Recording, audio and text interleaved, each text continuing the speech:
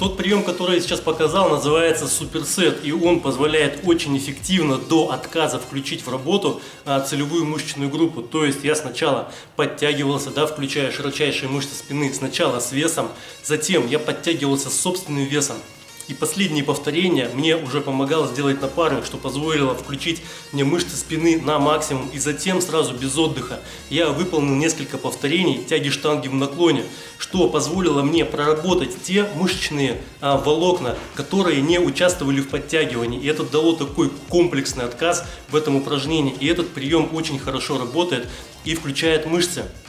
Вообще в залах очень редко удается увидеть человека, который работает действительно до отказа и действительно на износ. А обычно это довольно-таки сомнительные отказы, да, ну и, скажем так, тренировки, а, в которых о мышечном росте говорить не приходится. Если говорить о суперсетах, то это как раз таки тот прием, который позволяет действительно выключить просто мышцу, отработать до отказа а, в конкретном подходе. Если вы работаете в суперсетах, нужно учитывать, что это очень стрессовый прием и а, много таких отказных подходов проводить не нужно. Если я тренируюсь, а, используя суперсеты, то я делаю буквально один рабочий суперсет, да, один рабочий подход в упражнении, например, подтягивание и тяга в наклоне. И еще могу сделать один суперсет, например, тяга вертикального блока с тягой горизонтального блока. И максимум еще я сделаю один отказной подход, например, тяга блока обратным хватом.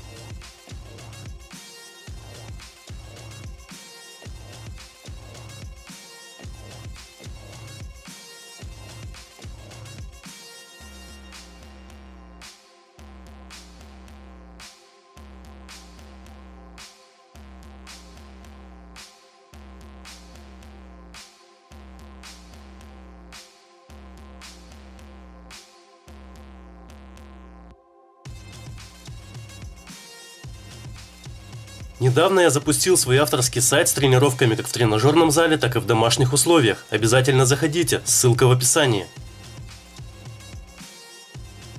Итого у меня получается три подхода на спину за всю тренировку. То есть один подход подтягивание и тяга обратным хватом рабочий, другой подход а, суперсет, тяга вертикального блока и тяга горизонтального блока и один отказной подход просто тяга блока э, вертикального обратным хватом. И на этом моя тренировка заканчивается, я со спокойной совестью иду домой. Именно такие высокоинтенсивные короткие тренировки могут помочь пробить вашу массу и дать толчок в наборе мышечной массы. И особенно такие короткие интенсивные тренировки хорошо подходят для эктоморфов, которым нужно экономить энергию.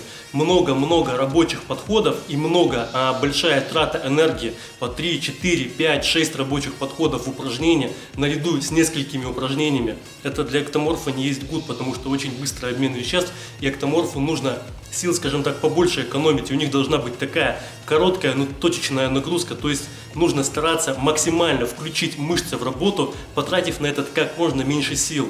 Естественно, перед каждым таким рабочим подходом в упражнении я разминаюсь. Я выполняю такие же суперсеты, только с небольшим рабочим весом, чтобы не тратить силы.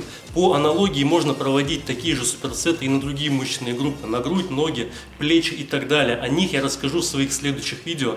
Поэтому обязательно подписывайтесь на канал. Если вам понравилось видео, ставьте лайк и добавляйтесь, друзья, ВКонтакте. Кстати, о друзьях ВКонтакте, я уже эту фразу заучил, но оказалось, я недавно понял, что, а, точнее, недавно понял, я недавно узнал, что оказывается ВКонтакте нельзя добавлять больше 10 тысяч друзей. И у меня, когда уже определенное количество подписчиков и друзей набралось, мне вылезло да, такое оповещение, что вы не можете иметь более 10 тысяч друзей, что меня очень расстроило и на самом деле удивило. Я уже во всех предыдущих видео говорю, добавляйтесь, друзья, ВКонтакте. Ну, не могу я добавлять, к сожалению, неограниченное количество пользователей. Поэтому вступайте в группу и подписывайтесь на мой аккаунт а, в социальной сети ВКонтакте. Ссылку на него вы найдете в описании к видео. С вами был Александр Добромиль. Пока.